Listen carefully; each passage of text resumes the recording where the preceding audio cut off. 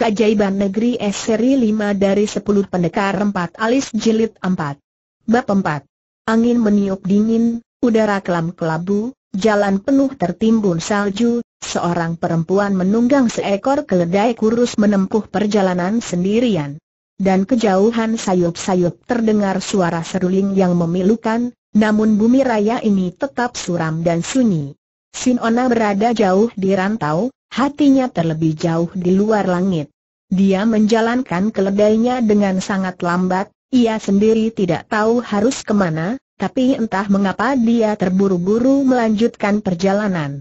Mendadak dari persimpangan jalan sana muncul sebuah kereta kuda yang besar, pengendara kereta memakai topi kulit, memegang cambuk panjang, Waktu berlalu di samping si Nona, sekilas dia tersenyum padanya. Perempuan itu juga tersenyum. Sama-sama pengelana dan kebetulan berjumpa, apa halangannya saling tersenyum walaupun tidak saling kenal? Pengendara kereta itu mendadak bertanya, Nona kedinginan tidak dingin sahut perempuan itu. Dia adalah Tan Ching Ching. Kalau duduk di dalam kereta tentu takkan kedinginan, ujar si pengendara kereta. Tentu saja, ku tahu, kata Cing Cing. Jika begitu mengapa Nona tidak naik ke atas kereta saja ujar si lelaki pengendara kereta. Tan Cing Cing berpikir sejenak, perlahan ia turun dari keledainya, kereta pun sudah berhenti. Jika gentong es saja pernah dimasuki, apa artinya naik kereta? Sesudah Cing Cing naik ke dalam kereta, mendadak si pengendara mengangkat cambuknya dan menyabet sekerasnya pantat keledai yang ditinggalkan itu. Karena kesakitan, keledai itu berlari pergi seperti kesurupan setan. Si pengendara kereta tersenyum senang, lalu berdendang lagu cinta si nona manis siapa yang punya segala. Tidak lama kemudian, kereta ini pun menjauh. Tidak terlalu lama, sampailah kereta besar ini di Hiula, sebuah tempat yang sangat terpencil meski bukan sebuah kota, tapi sudah tergolong tidak kecil di daerah kutub seperti ini.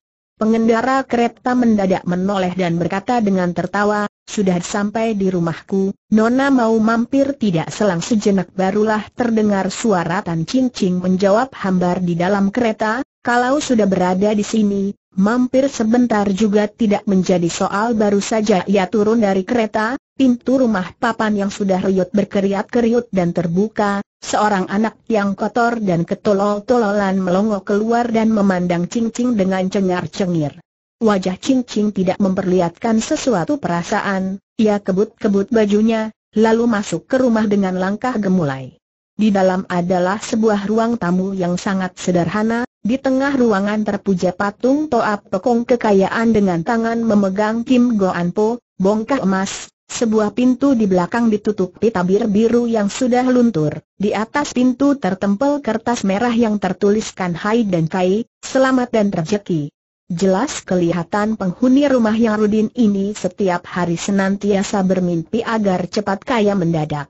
Seorang Rudin dengan seorang anak dekil, dua tiga buah rumah bobrok, empat lima buah bangku yang reyot, huruf tempelan yang miring, lukisan patung yang lucu, Semuanya serba tidak serasi. Tempat seperti ini seharusnya sukar didiami lama-lama oleh Tan Ching Ching. Maklum, dia suka kebersihan, suka ketenangan, suka barang-barang yang indah dan bernilai. Tapi sekarang dia ternyata sangat kerasan di sini, sangat betah, seperti di rumah sendiri sama sekali tidak ada niat hendak pergi lagi. Memangnya sudah tidak ada tempat lain lagi yang dapat ditujunya? Anak dekil tadi masih memandangnya dengan cengar-cengir, tapi wajah cincin tetap tidak memperlihatkan sesuatu perasaan. Ia melongok kian kemari, habis itu terus menyingkap tabir biru yang sudah luntur itu dan masuk ke kamar tidur orang. Di dalam kamar tidur dengan sendirinya ada ranjang, ternyata sebuah ranjang yang besar, bahkan masih baru gres kasur selimut dan bantal semuanya juga serba baru dengan selaman bunga dan sepasang merpati yang indah. Di belakang tempat tidur tertumpuk empat lima buah peti kayu yang juga masih baru, ada pula sebuah meja rias, dinding sekeliling kamar terkapur putih bersih sehingga kelihatannya seperti kamar pengantin baru. Cing-cing berkerut kening, sorot matanya menampilkan rasa jemu, tapi ketika ia memandang ke arah peti, seketika sinar matanya mencorong terang. Lalu dilakukannya sesuatu yang tak terbayangkan, dia justru melompat ke atas tempat tidur orang, lalu dari bajunya dikeluarkannya serenceng kunci, dibukanya gembok pada salah sebuah peti itu. Sekonyong-konyong sinar mengkilat emas terpancar, di dalam peti kayu ini ternyata berisi Kim Goan Po atau emas lantakan, yang jelas emas berkadar murni.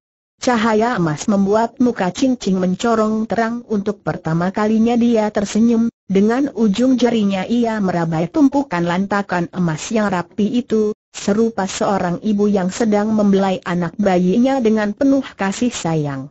Untuk mendapatkan emas ini memang bukan pekerjaan yang gampang, bahkan jauh lebih susah daripada seorang ibu melahirkan anak. Akan tetapi sekarang semua kesulitan sudah berlalu, dengan puas ia menghela napas, lalu menengadah, dilihatnya si lelaki pengendara kereta lagi melangkah ke dalam kamar sambil menegurnya dengan tersenyum, bagaimana permainanku ini, cukup menarik tidak?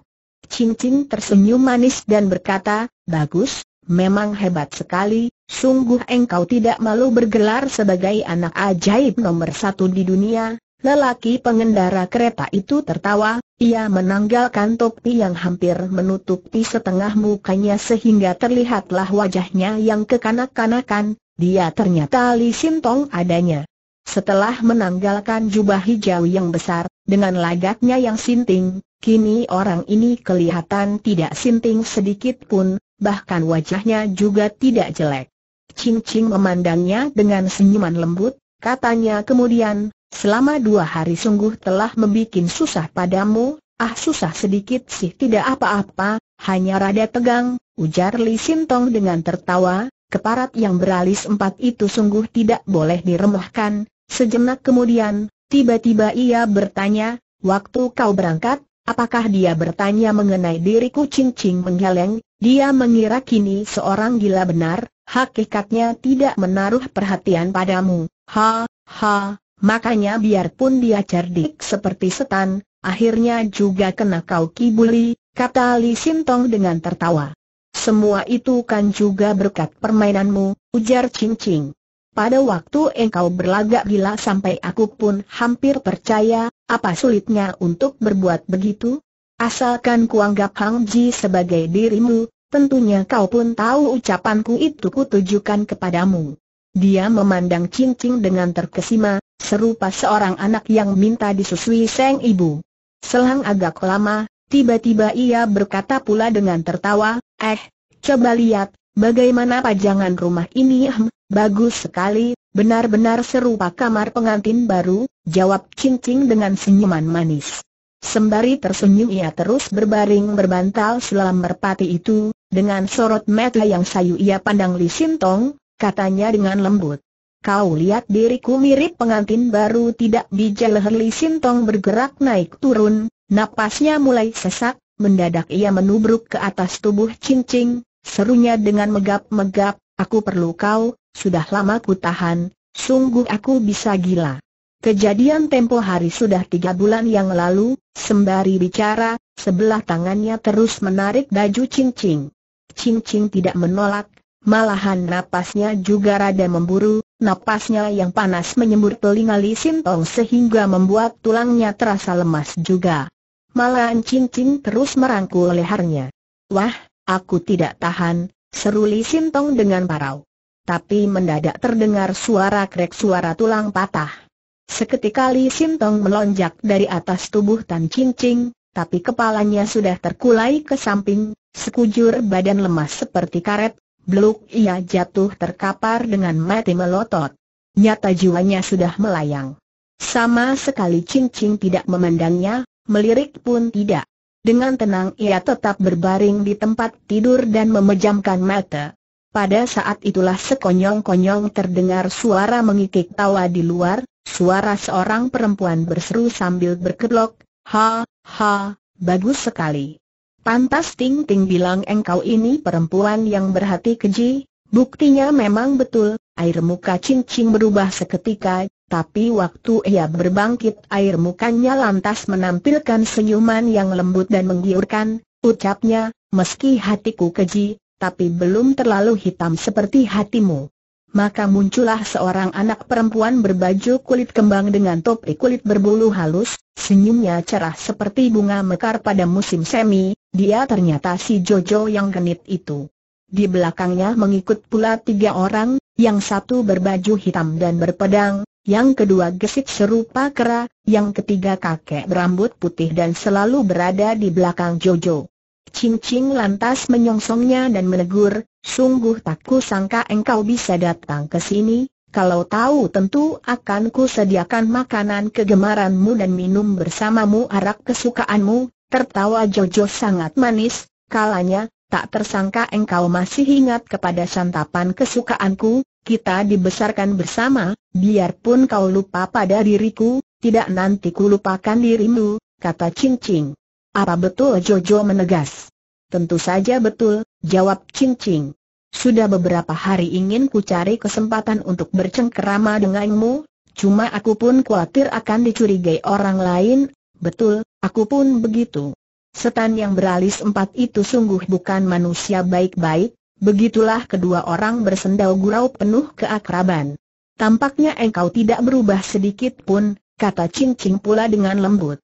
Kau pun tidak, jawab Jojo. Sungguh aku sangat rindu padamu selama beberapa tahun ini. Aku pun tidak kurang rindunya padamu. Berbareng kedua orang sama mengulurkan tangan dan melangkah ke depan, seperti saling rangkul untuk memperlihatkan perasaan sayangnya. Akan tetapi belum mendekat, senyuman cincing lantas lenyap, kerlingan matanya yang lembut itu mendadak berubah beringas, gerak tangannya juga berubah, Sekonyong-konyong ia mencengkeram pergelangan tangan Jojo, tangan yang lain juga mencengkeram ida kirinya. Serangan ini cepat lagi ganas, yang digunakan adalah cara yang serupa waktu membunuh Leng Hangji. Apabila Jojo terpegang jangan harap dapat lolos dengan hidup. Akan tetapi meski serangannya sangat cepat, gerak Jojo ternyata lebih cepat, baru saja ia mulai menyerang, tiba-tiba terdengar suara tring yang perlahan, Dua titik sinar lembut menyambar keluar dari lengan baju Jojo. Seketika Cing Cing merasa dengkulnya kesemutan seperti digigit nyamuk, tenaga sekujur badan lantas lenyap, kaki pun lemas dan beluk ia jatuh berlutut di depan Jojo. Jojo lantas tertawa nyaring dan berseru, eh, kita kan saudara sendiri, baru bertemu mengapa engkau banyak adat begini di tengah suara tertawanya, kembali setitik sinar perak menyambar ke arah depan, tepat mengenai Xiao Yau Hiat di pinggang cincing, bagian hiatu yang menimbulkan tertawa terus-menerus. Benarlah, segera cincing tertawa dan tertawa terus meski sinar matanya tidak mengandung rasa tertawa sedikit pun. Mukanya yang cantik juga berkerut-kerut karena tersiksa, butiran keringat sebesar kedelai juga mengucur. Jojo berkedip-kedip, lalu berkata, ah, pahamlah aku, tentu kau tahu telah berbual sesuatu yang tidak baik padaku, makanya hendak kau minta maaf padaku. Akan tetapi kau juga tidak perlu bertekuk lutut padaku. Asalkan kau serahkan barangnya, tentu aku takkan marah padamu. Cincin masih terus tertawa dan mengucurkan keringat dingin, ucapnya sekuatnya, barang apa masa perlu kau tanya ujar Jojo. Cing menggeleng sambil meliuk-liuk agaknya sekujur badan sudah lemas seluruhnya karena tertawa terus-menerus itu sehingga tenaga untuk menggeleng kepala saja terasa berat. Jojo menarik muka dan mencengek. Meski saudara sendiri, hutang piutang harus dihitung yang jelas. Kita juga begitu, bahwakah Loksan mau membeli loset pay kepada Lihi dengan 40 laksa tahil emas, tapi kau hanya minta pembayaran sepuluh ribu tahi saja padaku dan loset pay akan kau serahkan. Begitu bukan tapi tapi loset pay kan sudah, sudah diambil oleh lelaki yang kau bawa kemari itu sahut cincing dengan menahan siksaan. Segera Jojo mengeluarkan sepotong giok dan berkata, inikah yang kau maksudkan cincing mengangguk. Mendadak Jojo mendekatinya terus memberi tamparan keras satu kali sambil menjengek, hektometer, memangnya kau kira tak dapat kulihat barang ini palsu mendadak ia membanting Giok itu ke atas kepala Li Sintong yang sudah tak bernyawa itu, lalu berkata pula, kau anggap keparat ini maha pintar, kau kira barang imitasi bikinannya dapat digunakan mengelabui orang, tapi sayang, gambar yang diukirnya pada Giok ini lebih mirip cakar ayam, Sekuatnya cincing menggigit bibir dan berusaha berhenti tertawa, namun sampai bibirnya pecah tergigit, tertawanya tetap sukar berhenti. Sebenarnya sudah lama ku curigai dirimu, ucap Jojo pula, jelas kau tahu Set P adalah benda mestika yang tak ternilai, mengapa kau mau menjualnya kepada orang lain? Padahal hatimu biasanya jauh lebih hitam daripada siapa pun, Ibaratnya makan manusia juga kau telan bulat-bulat berikut tulangnya, maka sejak mula sudah ku suruh Sin Lojai mengawasi dirimu, sekalipun kau masuk ke bumi juga dapat ku seret keluar dirimu, apakah kau kira Lo Set Pei yang asli telah, telah ku bawa pergi kata Cing Cing. Sebelum Lihi menyembunyikan Lo Set di bawah sungai es, tentu barangnya sudah kau tukar, walaupun tadinya, Rupanya menurut perundingan yang telah disepakati mereka, cukup Jojo membayar seperempat dari harga yang ditetapkan antara Kahloksan dan Lihi, di antara kedua belas peti asalkan tiga di antaranya berisi emas, maka selebihnya boleh diisi dengan batu. Sebab yang akan menerima peti itu ialah Tan Cincing, bila mana kedua belas peti itu sudah diterima, segera ia memberitahukan kepada Lihi agar Loset P boleh diserahkan. Dia memang orang kepercayaan Lihi, dengan sendirinya Lihi tidak menyangka akan dipermainkan, mestinya dia hendak meledakkan sungai Beku itu pada esok harinya untuk mengambil leset pay. Yang dikehendakinya cuma emas dan lelaki saja, dia tidak berminat terhadap kedudukan ketua makan segala. Kau tahu, kalau diketahuinya Loset Pay telah ditukar oleh orang, tentu dia akan menyangka dirimu yang melakukannya, kata Jojo pula. Sebab selain dia sendiri dan dirimu pasti tak ada orang ketiga yang mengetahui rahasia ini, makanya pada malam itu juga telah kau bunuh dia, malahan kau sengaja membekukan dia bersama si kambing tua di dalam mes untuk mengalihkan perhatian orang lain, sebab siapa pun takkan menyangka orang semacam dirimu ini dapat melakukan tindakan yang gila itu, ia berhenti sejenak, lalu berkata pula, coba, bukankah semua rahasiamu tak dapat mengelabui diriku, untuk apa engkau mesti berlagak pilon lagi sekujur badan Tan Cing Cing kelihatan mengejang, bukan saja air mata dan keringat mengucur, bahkan celananya juga sudah basah, kedua dengkulnya sakit seperti ditusuk jarum. Tapi dia justru terus tertawa ngakak seperti orang yang mendapat rezeki nomplok. Eh, masih juga tidak kau keluarkan? Tidakkah kau tahu bagaimana akibatnya jika kau tertawa lagi terus-menerus care begini? Tanya pula Jojo. Sekuatnya Cing ingin mengatupkan mulut namun sukar terlaksana. Walaupun kau tertawa dan yang mengucur hanya air mata dan keringat saja, sekarang kau pasti sudah terkencing-kencing dan terberak-berak. Tidak lama lagi seluruh ruas tulangmu bisa terlepas semua karena tertawamu ini badanmu akan lemas lunglai seperti tidak bertulang. Dalam keadaan begitu, cukup tersentuh oleh jari saja tentu kau akan menjerit kesakitan seperti babi hendak disembelih.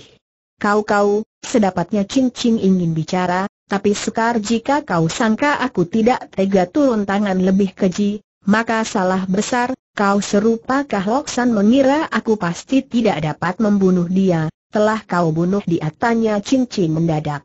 Dia berduit, juga punya pengaruh, meski usia sudah lanjut, tapi kondisi badannya masih sangat baik, permainan di atas ranjang tidak kalah daripada anak muda, malahan tekniknya terlebih tinggi, terhadapku juga lembut dan penurut, siapa pun takkan menyangka dapat bunuh dia. Lalu dia menyambung dengan tak acuh, tapi, toh aku telah membunuhnya. Dan kalau dapat ku bunuh dia, urusan apa pula yang tidak dapat ku lakukan mendadak Tan Chin Chin berteriak sekuatnya, Lo Set Pei berada di dalam kain kotoranku, hendaknya kau ampuni diriku sudah berhenti suara tertawa Tan Chin Chin tapi dia jatuh terkulai di lantai seperti ikan mampus. Dengan sendirinya Lo Set Pei sudah berada di tangan Jojo, dengan hati-hati dia pegang Giok Pei itu seperti seorang raja memegang cap kebesarannya, gembira dan bangga, saking senangnya ia bergelak tertawa. Pada saat sedang tertawa gembira itulah, mendadak dari luar jendela menyambar masuk seutas cambuk panjang tanpa suara, sekali ujung cambuk membelit, Giok Pei yang dipegang Jojo lantas terbang keluar jendela. Seketika Jojo tidak dapat tertawa lagi, ia meringis kaget serupa orang yang mendadak tergorok lehernya. Didengarnya seorang berkala di luar jendela dengan tertawa. Kalian tidak perlu mengejar keluar, sebab aku segera akan masuk ke situ, Berkat bantuan kalian sehingga Lo Set P ini dapat ditemukan kembali, sedikitnya harus ku sampaikan rasa terima kasihku padamu secara langsung, Liok Xiao Hong. Yang bicara itu ternyata Liok Xiao Hong.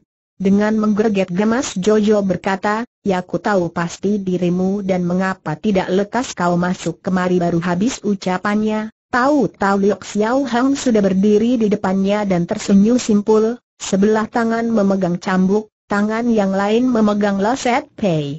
Melihat Liok Xiao Hong, Jojo lantas tertawa juga, katanya, Hah, tak tersangka engkau juga mahir memainkan cambuk sebagus ini cambuk ini adalah hasil curian kututur Xiao Hong dengan tersenyum. Hasil curian? Care bagaimana dapat kau curi tanya Jojo, ku curi dari kereta di luar sana, Permainan cambuk ini juga hasil curianku dari Bu Eng Sin Pian, si cambuk sakti tanpa bayangan, kata Xiao Hang pula.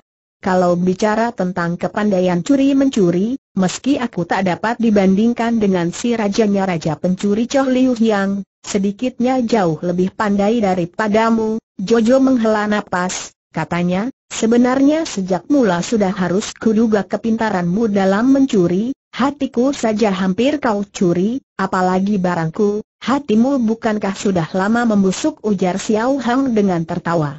Cepat juga kedatanganmu ini kata Jojo pula mengalihkan pembicaraan. Tak kasangka bukan mengapa bisa kau pikirkan akan tempat ini Xiao Hang tertawa, jawabnya, sebab terlalu banyak yang kupikirkan waktu aku berbaring di tempat tidur, makanya juga banyak urusan yang dapat kupikirkan. Untuk apa banyak berpikir, kenapa tidak kau perkosa diriku saja Omel Jojo mendadak, bahwa orang tidak memperkosanya ternyata membuatnya marah malah dirimu kan bukan seorang kuncu, jika kau dapat memperkosa orang lain kenapa tidak kau perkosa diriku? Soalnya waktu itu aku tidak kebelet, sahut Xiao Hang dengan tertawa, karena kau sengaja membuat kecewa hasratku, aku pun balas merusak hasratmu, Jojo berkedip-kedip, Mendadak ia tanya, sejak kapan kau ganti keputusan pada waktu batu tertumpah dari dalam peti, dengan tersenyum Xiao Hang menyambung pula.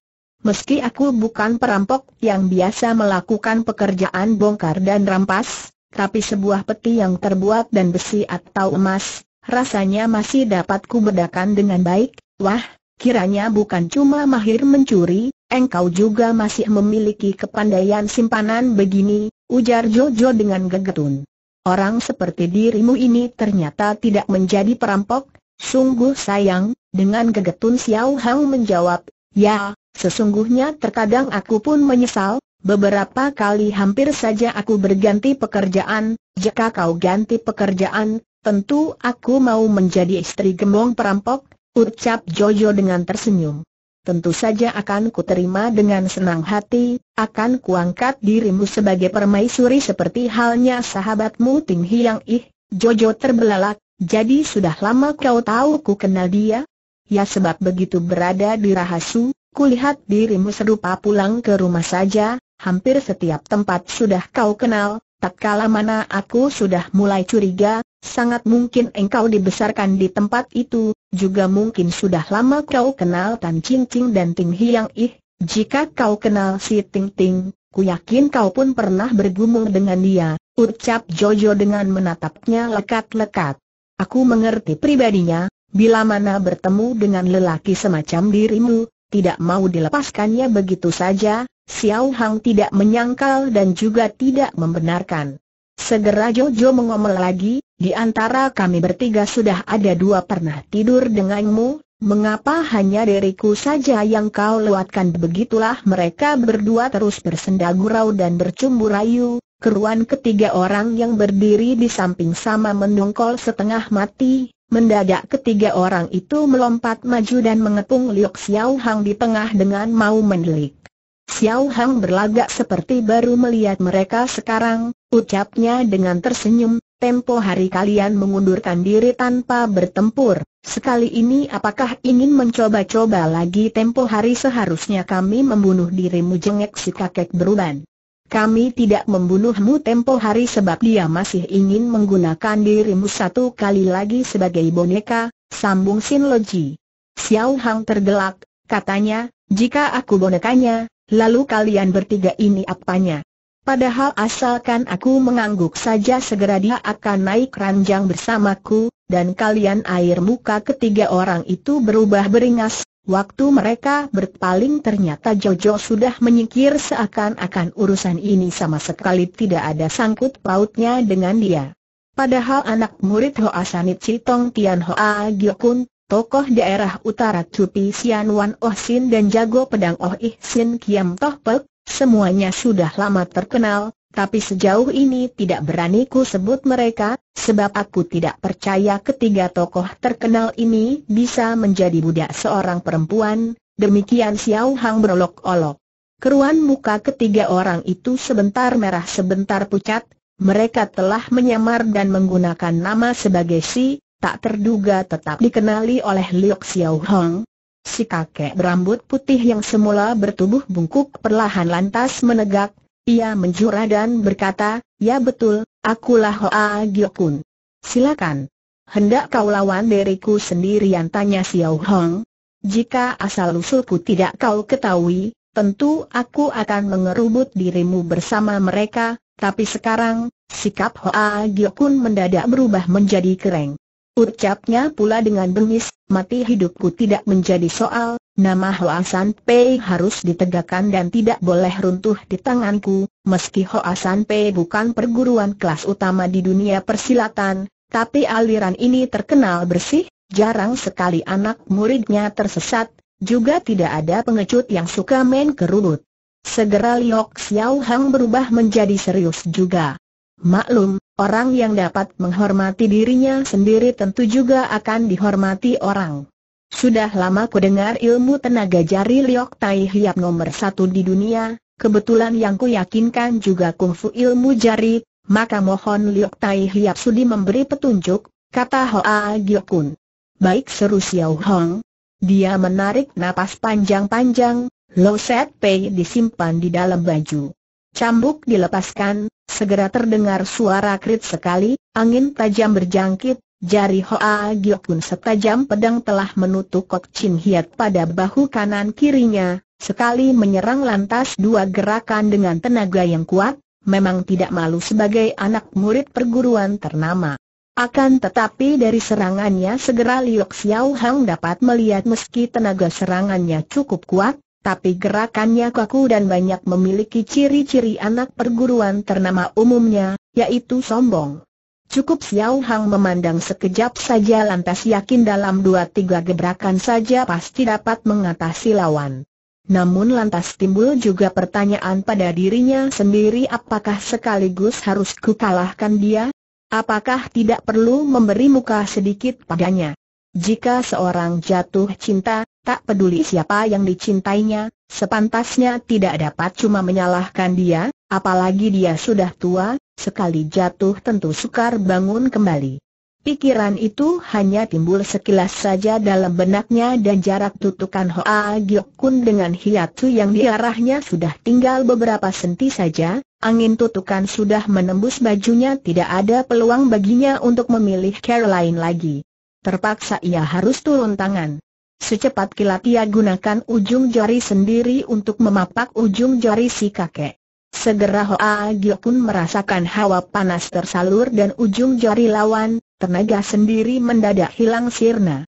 Tan Chi Sin Tong atau ilmu tenaga jari sakti dari Hoa San Pei mestinya termasuk satu di antara tujuh ilmu sakti, Biasa Fabila mana bertempur, dari jarak lima kaki saja dia mampu menutup hiatu lawan dengan angin tutukannya.